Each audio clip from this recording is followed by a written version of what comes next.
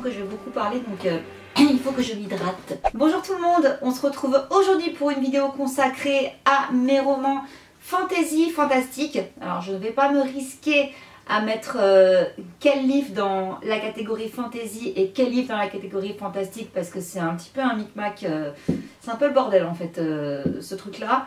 Donc euh, j'ai préféré tout regrouper en fantasy fantastique, comme ça voilà, je me plante pas dans la description de ce qu'est un roman fantastique et de ce qu'est un roman fantasy. Ils sont là, ils sont derrière, ils sont juste trop beaux. Alors je vais pas euh, vous sortir des romans de la lune, il y en a certains qui ont, même pas mal, qui ont énormément circulé sur la toile, machin, nan, mais bon, moi j'ai toujours 10 euh, trains de retard, donc euh, c'est maintenant que je m'y mets, sachant que à la base, la fantaisie, fantastique, c'est pas du tout ma cam, donc euh, il était temps de s'élargir un petit peu, et effectivement, sur le conseil de, bah, de toutes les copines booktubeuses, je me suis enfin lancée dans ce genre littéraire, et j'en suis la première réjouie. Parce que j'ai commencé à en lire quelques-uns et bah pour le coup je les ai pas mis dans ce book haul, vous les verrez en point lecture. Mais il y en a quand même deux là-dedans, je crois bien. Ouais, deux que j'ai terminé et que j'ai surkiffé. Du coup j'ai acheté les suites et on va arrêter de blablater, on va aller directement voir les livres. Alors c'est des romans que vous avez déjà vus 1 milliard 350 millions de fois sur la toile, mais c'est pas grave, j'avais envie d'en parler, j'ai envie de les montrer parce qu'ils sont juste trop beaux. Donc euh, voilà, je me suis procuré le tome 1 Cinder de euh, Marissa Meyer. Alors franchement, j'étais la meuf trop superficielle. J'étais dégoûtée parce que moi je voulais la couverture où il y a euh, le talon. Et en fait, couverture mensongère sur la publicité du site où je l'ai acheté, c'était la chaussure et en fait ils m'ont envoyé cette version là. Bon, en soi c'est pas très grave, je sais, mais j'étais déçue. J'étais déçue parce que je voulais absolument la couverture avec le talon. Bref, passons. Alors en fait, c'est les chroniques lunaires. Je lis, alors pour l'instant, je vois qu'il y a quatre livres, donc euh, Cinder, Scarlet, Cress, Levana, Winter. Alors là, on va où? Humains et androïdes cohabitent tant bien que mal dans la ville de New Beijing. Une terrible épidémie ravage la population. Depuis l'espace, un peuple sans pitié attend son heure. Personne n'imagine que le salut de la planète Terre repose sur Cinder, brimée par son horrible belle-mère. Car la jeune fille, simple mécanicienne à demi humaine, détient sans le savoir un secret incroyable, un secret pour lequel certains seraient prêts à tuer. Alors, euh, bon, pour moi c'est de la réécriture. Deux contes de fées, ça me parle complètement, même si je ne l'ai pas encore lu. Je sais, je suis un mouton pour le coup, parce que voilà, j'ai vu tout le monde en parler. Euh, j'ai vu la tête des couvertures, j'ai vu le titre, ça a suffi à me convaincre. Donc euh, voilà, quand je l'aurai lu, j'espère très prochainement, euh, je vous dirai ce que j'en pense, même si encore une fois, on a déjà vu 3 milliards d'avis, bah, je vous donnerai le mien en, prime, hein, ça fera 3 milliards et des poussières plus un avis. Ensuite, sans grande originalité, je me suis procuré les autres passeurs. Alors là, pour l'instant, j'ai que le tome 1 et le tome 2. Euh, j'ai pas lu le tome 2, donc euh, qui est la Reine des Neiges. Je n'ai lu que le tome 1, Les Héritiers. Et alors, ça en fait, euh, bah faut dire, j'en avais quand même beaucoup entendu parler, encore une fois, dans, dans les vidéos euh, des booktubeuses. Et ça me tentait pas mal. Pas mal beaucoup, même, je dirais. Et euh, je suis dégoûtée, j'ai renversé du chocolat dessus, il y a plein de petites taches, vous verrez pas, mais moi je les vois et ça, bref, ça me chagrine. Je peux pas dire que j'ai pas aimé, parce qu'honnêtement j'ai bien aimé, peut-être moins que l'enthousiasme euh, que j'avais vu sur, euh, bah, sur toutes les vidéos de Booktube. Mais après j'attends de voir la suite parce que j'ai franchement si j'ai bien aimé, j'ai bien aimé le concept. Alors donc c'est l'histoire de Peter qui se découvre en fait bah toute une histoire de famille, toute une mission euh, derrière. Euh, enfin, c'était un petit peu le, jeune homme, le jeune homme tout le monde, j'allais dire monsieur tout le monde, mais non, quand même, il est un petit peu jeune. Mais bon, bref, l'adolescent euh, lambda, qui en fait se retrouve, mais dans un truc qui dépasse l'entendement. Hein. En même temps, on est dans l'imaginaire. Et, et, en fait, c'est que des, que des comebacks, que des flashbacks. Euh, il rentre dans une espèce de piscine où du coup il voit euh, ce, que, bah, ce que ses ancêtres en fait ont vécu à un moment précis. Et donc il va découvrir euh, bah, son histoire en fait l'histoire de ses ancêtres et pourquoi effectivement il est ce qu'il est. Et bon il n'est pas le seul hein. il y a aussi pas mal d'autres jeunes qui se retrouvent dans la même situation que lui. Et en fait c'est bah, c'est pas mal en fait. Moi ça me fait un petit peu penser à ces histoires où on se on se rend compte qu'on est l'élu de quelque chose alors qu'on était euh, vraiment dans sa petite vie, son petit train-train, euh, voilà, très quotidien. Et, euh, d'un coup, bam, on se prend une grande douche froide, on se, retrouve confronté à des choses, on ne savait même pas que ça existait. Et bon, ouais, on va dire que ce côté-là, j'ai bien aimé. Après les comebacks, j'ai vu que pour certains, ça avait un petit peu dérouté. Moi, pas du tout. Au contraire, j'ai bien aimé.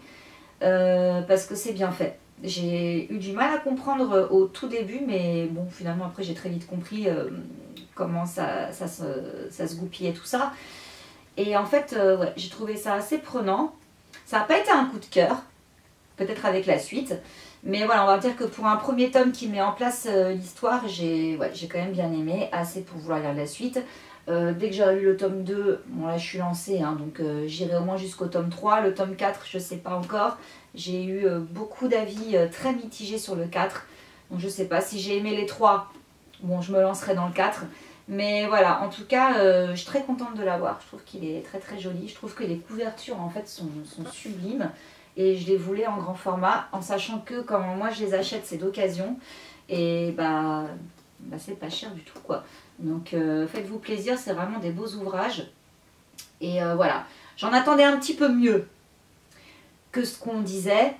Mais bon, voilà, je suis pas non plus déçue de fou quoi. Donc voyons la suite. Alors, la sélection de Kira Kass. Alors, 35 candidates, une couronne, la compétition de leur vie. Donc 300 ans ont passé et les États-Unis ont sombré dans l'oubli. De leur ruine est née Iléa, une monarchie de caste, mais un jeu de télé-réalité pourrait bien changer la donne. Donc elles sont 35 jeunes filles, la sélection s'annonce comme l'opportunité de leur vie. Ça me fait un peu penser genre euh, au Bachelor. L'unique chance pour elle de troquer un destin misérable contre un monde de paillettes, l'unique occasion d'habiter dans un palais, de conquérir le cœur du prince Maxon, Maxon, je sais pas, l'héritier du trône. Blablabla, bla bla. je ne vais pas en lire plus. Tout jeu comporte des règles et les règles sont faites pour être transgressées. Euh, honnêtement, moi, ça m'intrigue euh, énormément. ça me fait penser vraiment à un bachelor, mais en mieux. Parce que, parce déjà, c'est un roman et ce n'est pas une, émission euh, indigeste à regarder. Donc, euh, ouais, moi j'ai pas, je trouve que le concept est assez sympa, donc euh, j'ai craqué pour ce livre-là.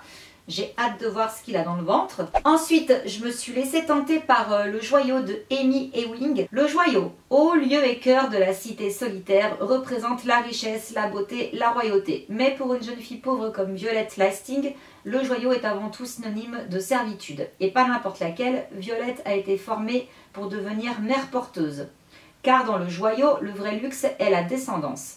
Acheté lors de la vente aux enchères par la duchesse du lac Violette, le lot 197, son nom officiel, va rapidement découvrir la réalité brutale qui se cache derrière l'étincelante façade du joyau, s'exercer à la cruauté, à la trahison.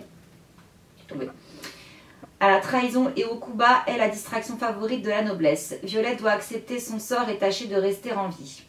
C'est pourtant dans ce sinistre quotidien qu'elle tombe amoureuse d'un séduisant garçon, loué pour servir de compagnon à la nièce aigrie de la duchesse. Cette relation interdite vaudra aux jeunes amants d'affronter les plus grands des dangers. Alors c'est une trilogie. Euh, moi franchement ça me, moi tente bien. En plus la couverture est magnifique, j'aime beaucoup. Donc euh, oui, encore une fois, je suis un mouton. Des fois, la couverture peut me convaincre. Alors là, pareil, on en a entendu parler un peu partout. Là, je crois que c'est sur deux tomes. Les sorcières du clan du Nord. J'avais l'impression que je ne devais pas passer à côté. Quand on est un peu l'histoire de sorcière et tout, machin, ce qui est un peu mon cas. Euh, je pense que celui-là, j'étais un petit peu obligée de craquer. Donc je vous l'ai vite fait le résumé pour ceux qui ne connaîtraient pas, mais j'en doute. Deux mondes que tout oppose, une grande amitié, une histoire ensorcelante. Poppy, adolescente rebelle, se fait renvoyer de tous les lycées qu'elle fréquente. L'innocente Clarée a du mal à se faire accepter par sa communauté secrète de sorcières. Leur chemin n'aurait jamais dû se croiser, pourtant elles deviennent inséparables et la rencontre avec le mystérieux Léo achèvera de bouleverser leur destinée. Mais y a-t-il une frontière entre magie et réalité?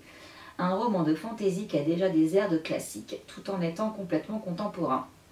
Voilà, donc euh, ça c'est le sortilège de minuit, c'est de Irena Brignol, Brignol, je ne sais pas.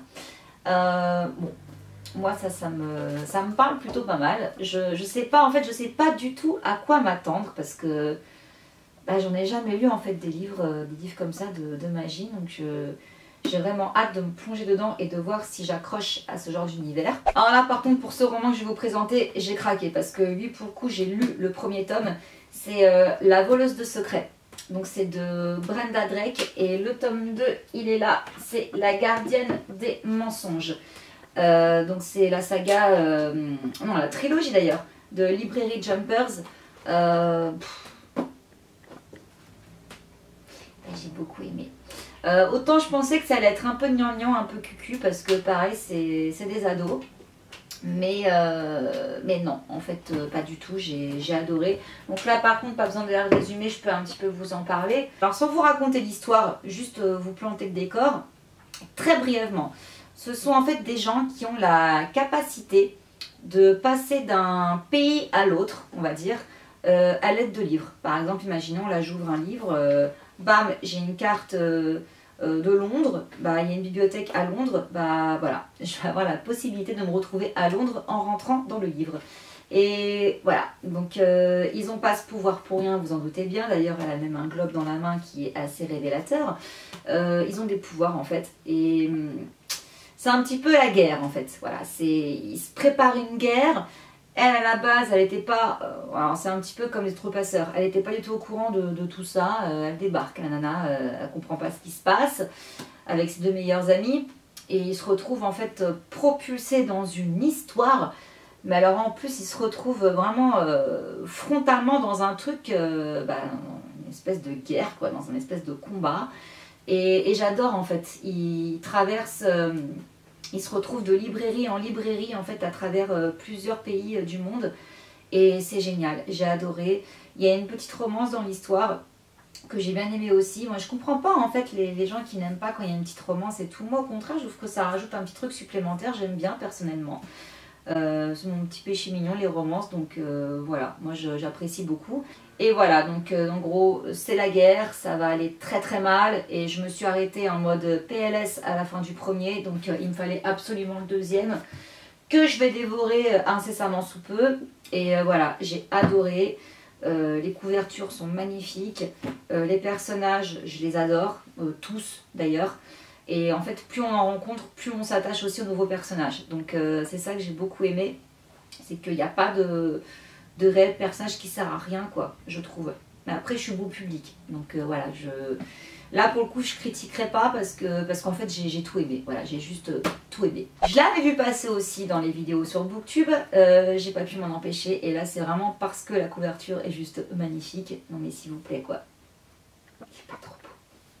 Là, c'est les chroniques des fleurs d'opale. Là, c'est le, le 1, la candeur de la rose, de Ilena. Alors ça, c'est de l'auto-édition.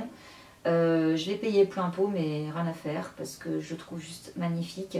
Euh, je l'ai pas encore lu, hein, donc je vous lis un petit peu euh, ce qui se passe derrière.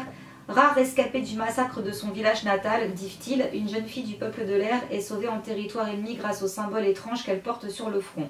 Elle serait la cinquième fille de la déesse aveugle. Séquestrée dans un monastère et manipulée par le prêtre Sarine, qui compte la livrer au roi une fois ses pouvoirs éveillés, elle est libérée par son frère Naïd qui la persuade de partir avec lui. Sauf que les terres de l'Edenor sont, sont semées de dangers et que la cruauté de certaines personnes hantées par la haine et la guerre s'oppose à la candeur de Diftil, avide de découvrir ce monde dont elle a si peu joui. Mais avant tout, elle veut échapper à son destin. Est-ce possible lorsque l'on est voué à devenir une déesse? Bon, euh, moi j'ai envie de dire, euh, on y va. Le résumé me fait assez envie. La couverture euh, me faisait énormément envie, donc on y va, hein. on y va très bientôt et je vous en parlerai prochainement. Tout le monde en parle comme étant le livre qu'il faut lire et qu'on ne trouve plus. Je vais parler naturellement de Wicked, le fameux livre de magie, sorcellerie, voilà, qui apparemment est un must de Gregory Maguire. Et effectivement, il s'avère que c'est assez compliqué de se le procurer. Et j'ai profité justement de mon dernier séjour à New York pour me le procurer. Mais j'ai vu qu'il n'était pas tout seul. Il y avait aussi... Euh, alors attendez, euh, c'est lequel le 2, c'est lequel le 3 Je sais plus. Je crois que celui-là c'est le 2. Son of a Witch. Et le 3, Lion Among Men. Alors oui, c'est en anglais. Euh, oui, je vais galérer. Mais comment vous dire? Ils étaient à 9 dollars. Celui-là est à 8 dollars. Et celui-là, 8 dollars. Voilà, il n'y a que le 3 qui était à 9 dollars. Euh, bon, j'ai pas pu j'ai pas pu dire non quoi. Enfin, apparemment, euh, ils, sont, géniaux. Moi, je me rappelle beaucoup de Wicked, la comédie musicale. Euh, je sais pas s'il y a un rapport, je pense. Mais en tout cas, je me suis dit, bon, S'il est si galère que ça à trouver en France, là, ils sont devant toi, bah écoute, euh, profites-en, jette-toi à l'eau. Du coup, j'ai pas fait les choses à moitié, j'ai pris les trois. Ouais, c'est en anglais, je vais galérer de ouf, mais c'est pas grave. Hein. Euh, moi, euh, ça me fera du vocabulaire en plus à apprendre. Et je suis très contente parce que moi qui voulais commencer à me mettre à la lecture VO, j'ai pris le premier Harry Potter en VO. Alors, j'aurais dû vous le mettre. Oui, je n'ai jamais lu aucun Harry Potter. Je sais, c'est la honte, mais ça ne m'a jamais attiré. Mais euh, je me suis dit, voilà, je vais me mettre à la lecture VO. Qu'est-ce que je pourrais lire? Eh ben Harry Potter, allons-y. Du coup, voilà, je me suis procuré le premier tome d'Harry Potter en VO. Je n'ai pas encore commencé, hein, calmons-nous. Mais euh, voilà, c'est dans ma palle euh, et ça rejoint ces trois petites merveilles. Et j'espère que je vais réussir à comprendre. Je l'espère. Je vous en reparlerai, pas tout de suite, on va attendre un petit peu. Hein. Mais en tout cas, voilà, ils sont là et, je suis très contente. On va terminer avec Rebelle. Alors ça, c'est un livre de Alwyn Hamilton. Euh, il est en plusieurs tomes également. Et en fait, il, me faisait vraiment envie. Alors c'est tout petit. Hein. Il me faisait vraiment envie. C'est euh, une prisonnière d'une vie étouffante au cœur du désert. Amani n'aurait jamais imaginé galoper un jour sur un cheval fantastique en compagnie d'un fugitif recherché pour trahison. Elle ne se serait jamais doutée non plus qu'elle en tomberait amoureuse ni qu'elle l'aiderait à mener la résistance contre le sultan. Alors là, je vois que deux tomes, je sais pas si on a un troisième, mais euh, ça, j'ai craqué au salon du livre parce que j'en avais entendu parler. J'en ai entendu aussi beaucoup de bien, comme quoi que c'était une héroïne euh, assez badass. Donc euh, j'ai vraiment hâte de voir ça. Ma caméra a planté. je disais donc que pour le coup, je me suis pas cassé la tête. J'ai pris un petit format, hein, voilà, c'est très très bien. Ça prend moins de place. Et voilà, j'espère que, c'est bien, mais je pense, je pense que ça va me plaire. Et je vous en reparlerai très bientôt. Et voilà, cette vidéo est maintenant terminée. J'espère qu'elle vous a plu. Je pense pas vous avoir fait découvrir des choses. Je ne pense pas. Mais en tout cas, moi je suis très contente euh, d'avoir acquis euh, tous ces très très beaux livres. Et surtout, encore une fois, de, bah, m'ouvrir de plus en plus à d'autres genres littéraires. Et pour certains que j'ai commencé, dont je vous parlerai très prochainement, j'accroche vraiment bien finalement avec la fantaisie. Je vous remercie beaucoup d'avoir regardé cette vidéo avec moi. Et puis bah écoutez, euh, je vous fais plein de bisous hein, comme d'habitude. Et puis n'hésitez pas à vous abonner, à lâcher un petit pouce, fait toujours plaisir. À activer les notifications pour être au courant de tout ce qui sort. Sachant que euh, je publie un petit peu selon mes humeurs et mes envies et surtout mon temps. Donc euh, voilà, je suis désolée, je suis désolée de ne pas être plus régulière, je, je fais ce que je peux en fait. Voilà. Mais en tout cas, euh, je vous fais plein de bisous et je vous dis à très bientôt. Bisous, ciao